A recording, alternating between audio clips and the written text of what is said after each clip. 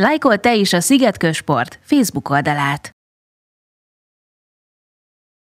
A műsorszámot támogatta a Berger Transport Kft. A borháló Moson Magyaróvár, ahol minden a bor körül forog. Az Extreme Vas Moson Magyaróvár legmodernebb autómosója. Húshegyi Anita ötvösmester. A Lajta Medikál Csaba utca 5. A Bernát cukrászat bemutatja sajtos rudacska, a roppanós élvezet. Bádogos szaküzlet, minden, amire egy bádogosnak szüksége van. Valamint a Flex fényhegesztés technikai és szerszámkereskedőház Kft. A műsor főtámogatója a Greiner by One Hungary Kft.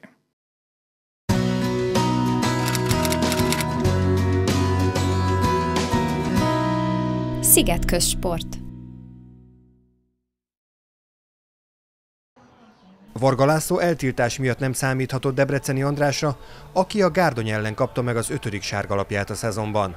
Jól kezdte a mérkőzést a fekete mezes MTE, a harmadik percben Tóth László jobboldali szögletét Végbence fejelte korábbi együttesének kapujába, ezzel pedig a hatodik gólját szerezte a szezonban. Nem sokkal később az imént gólpaszt adó Tóth lövését nagy bravúrral hárította Bánfalvi.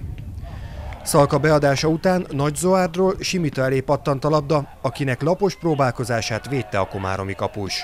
Újabb bánfalvi bravúr következett, ezúttal Szalka bal alsóba tartó lövését ütötte ki a 21 éves kapus. A 21. percben Tóth László szöglete után Durszó fejelt, de Bánfalvi ezúttal is résen volt. Négy perccel később Nagy Zoárd lövését Bánfalvi lábbal védte. A kipattanót Szalka mellel átvette és belsővel pattanás nélkül a kapuba emelte, Szenzációsra sikeredett Szalka Dominik 15. gólja a szezonban. A második félidő elején Simita beadása után boros fejesét védte hatalmas bravúrral Bánfalvi. Az 50. percben Simita passza után Szalka hozta helyzetbe Nagy Zoárdot, aki okosan gurította el a labdát a kapus mellett.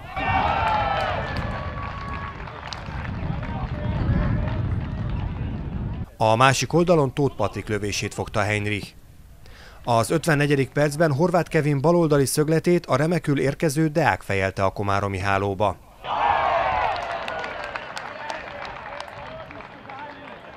Boros kiugratása után Tóth Martin törhetett kapura, de Bánfalvi hárította az óvári középpályás lövését.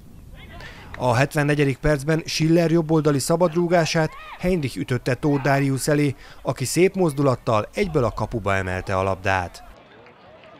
Szegő remek szólója után a lövése nem sokkal került el a jobb felső sarkot. Bokor labdaszerzése után Illés tört be a 16-oson belőre, de végül nem talált kaput.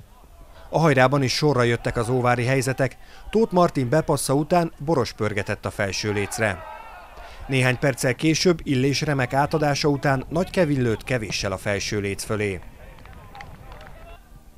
Tóth Martin hozta remek helyzetbe Borost, de az MTL házi gólkirálya ezúttal nem tudott betalálni.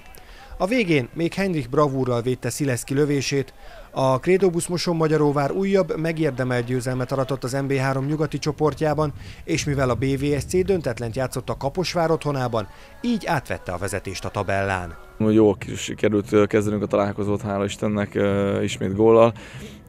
Nyilván ez megnyugtotta a csapatot talán túlságosan, és a fél azért elmondtam a srácoknak, hogy igaz, hogy megvan a mezőny felé, megvan az óriási, megvannak a helyzetek is, minél többet kellene ebből értékesíteni, hogy ez nem bizalom kitartson, megmaradjon, és azért dolgozni kell, nem szabad félváról venni.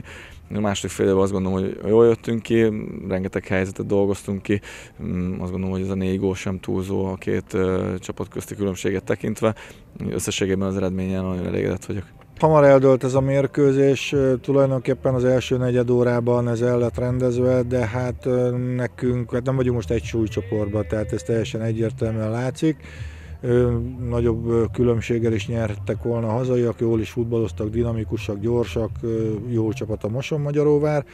Nekünk az volt a, a célunk, hogy hát persze nyilván nem úgy jöttünk azért, hogy kikapjunk, meg volt egy elképzelésünk, de sajnos ez az első negyed óra után már, már füsté vált. Utána úgy tettük, vettük, játszottunk becsülettel, de hát kijött az a különbség, ami a két csapat között van. A Krédóbusz Moson Magyaróvár vasárnap ismét hazai pályán szerepel. Varga László együttese 17 órától a Gyirmót második csapatát fogadja.